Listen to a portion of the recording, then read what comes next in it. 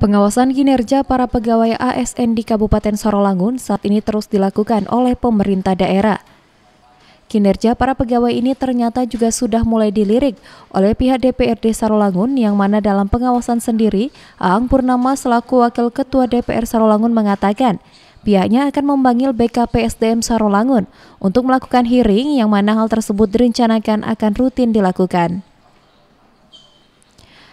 Ingin ikut dalam melakukan pengawasan para pegawai di Sarolangun, menurut Wakil Ketua DPRD Sarolangun Aang Purnama, hal ini memang sudah menjadi tanggung jawab DPRD sebagai lembaga pengawas daerah.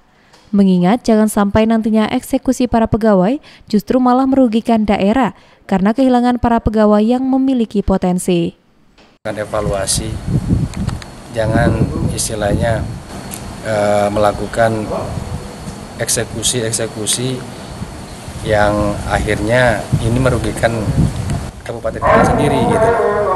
Dan kami juga sebagai lembaga pengawasan DPRD ini juga mempunyai tanggung jawab gitu terhadap Surya Abadi, Jambi TV.